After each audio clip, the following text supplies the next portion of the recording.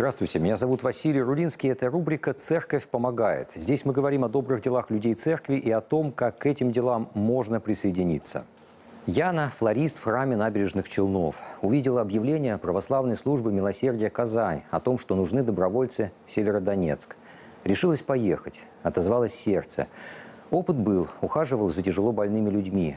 Там, в Северодонецке, ее ждали немощные брошенные старики, запертые на верхних этажах многоэтажек – они чудом выживали без еды, воды и света. Яна отмывала их, стригла, обрабатывала раны, приводила в порядок квартиры, которые два года не видели уборки.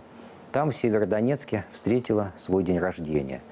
Признается, это был мой самый запоминающийся праздник. Для меня подарок оказаться здесь.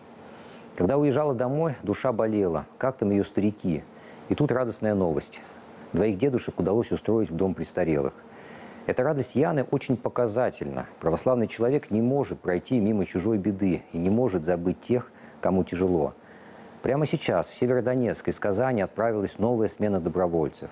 Помощь там очень нужна. Присоединяйтесь на сайте помочьбеде.рф. Несколько цифр о церковной помощи и работе патриаршей гуманитарной миссии. Более двух тысяч добровольцев съездили в зону конфликта для помощи пострадавшим. 18,5 тысяч человек получили медицинскую помощь нашей больницы святителя Алексия. Более 200 тысяч обращений поступило в церковные центры помощи в зоне конфликта и других городах. 2400 тонн гуманитарной помощи передала церковь нуждающимся в разных городах. 199 частных домов восстановили добровольцы-ремонтники ремонтники в Мариуполе, а, а также в Волновахе и в Донецке. 8 800 70 70 222 – это номер телефона, по которому можно записаться в добровольцы прямо сейчас. Ваша помощь очень нужна.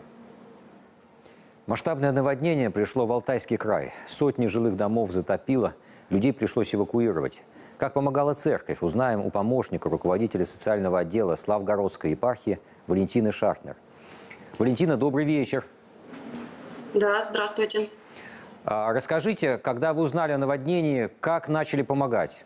Наводнение происходило на разных участках нашей епархии. Но непосредственно вот социальное дело обратилась женщина со Славгорода. Эта женщина одинокая мама, у нее шестеро детей. Дети все малолетние, то есть это младшая школа и дошкольники. Очень тяжелая ситуация тоже была в Михайловском районе. Но там очень хорошо работали все службы. Церковь, естественно, у нас священник там, он первым делом, как только узнал, что есть подтопление, он пришел в администрацию, предложил свою помощь. Эта э, помощь заключалась в том, что если необходимо где-то на своем транспорте что-то привозить, там продукты, это опять же весь приход собирал, они собрали какую-то определенную сумму денег, закупили сразу же продукты, отвезли в администрацию, чтобы она могла их распределять по тем, кто их у них несколько было открыто центров, пунктов пребывания временного людей, да, которые нуждались в этом. Ну, где-то вот были случаи, когда не хватало хлеба. Священник тоже наш батюшка, отец Роман там находится. Он закупал этот хлеб, привозил несколько раз, вот довозил, что нужно, там средства гигиены какие-то. Ну, то есть вот все, что необходимо, первые такие э, просьбы, все сразу старались идти на помощь, выручать. А есть еще у нас э, случай э, в Гальпштадте, это немецкий район, тоже там э, талыми водами потопило фундамент, и стены межкомнатные, да, вот эти перекрытия рухнули просто. То есть там остались просто стены внешние. А, там тоже, естественно, приход, сразу подключился, начали они там собирать денежки, где-то что-то как-то помогать, что могут. Сейчас семья находится у родственников, там очень сложная ситуация тоже. Э, женщина проходит обследование заболеванию, там только вот вернулась из Барнаула, из краевого центра. А на попечении у них э, мама, бабушка старая, которая недвижимая лежит.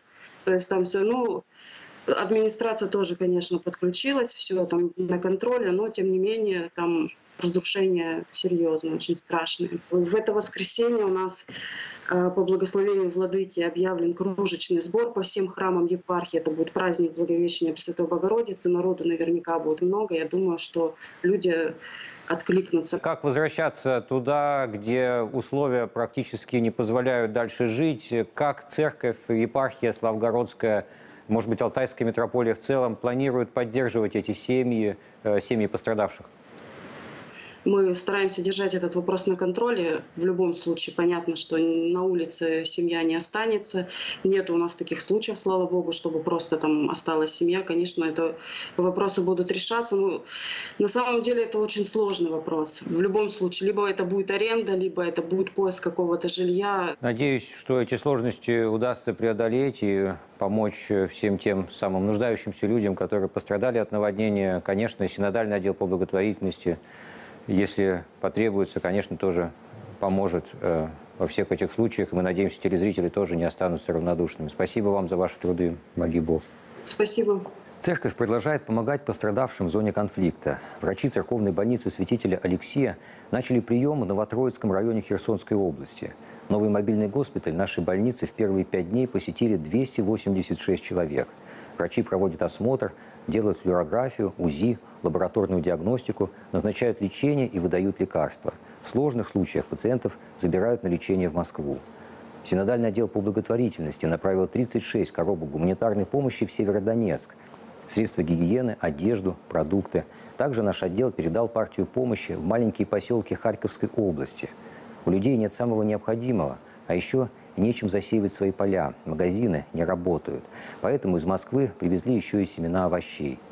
Закончилась 121-я поездка в зону конфликта сотрудников специального гуманитарного центра Крымской метрополии. Как всегда, с риском для жизни они передали продуктовые наборы, овощи и фрукты в разные населенные пункты Донбасса. Православные волонтеры при Вознесенском храме Киева передали генератор, бензопилу и 50 литров бензина в село Воздвиженко на Донбассе. Все это нужно для того, чтобы согреться и приготовить еду, ведь электричества в регионе практически нет – Прямо сейчас требуются добровольцы для ремонта частных домов пожилых и инвалидов в Мариуполе. Проживание, питание, проезд церковь берет на себя. Если у вас есть 10 дней свободного времени, записывайтесь по телефону 8 800 70 70 222. Где еще можно помочь? Очень нужны пожертвования для поддержки пострадавших. Если у вас есть возможность, просим сделать пожертвование на сайте помочьбеде.рф или отправить смс на номер 3443. Для этого нужно ввести короткое слово «беженцы», поставить пробел и написать сумму, например, «беженцы пробел 300». Будем продолжать наши молитвы о мире и помогать тем, кому тяжело.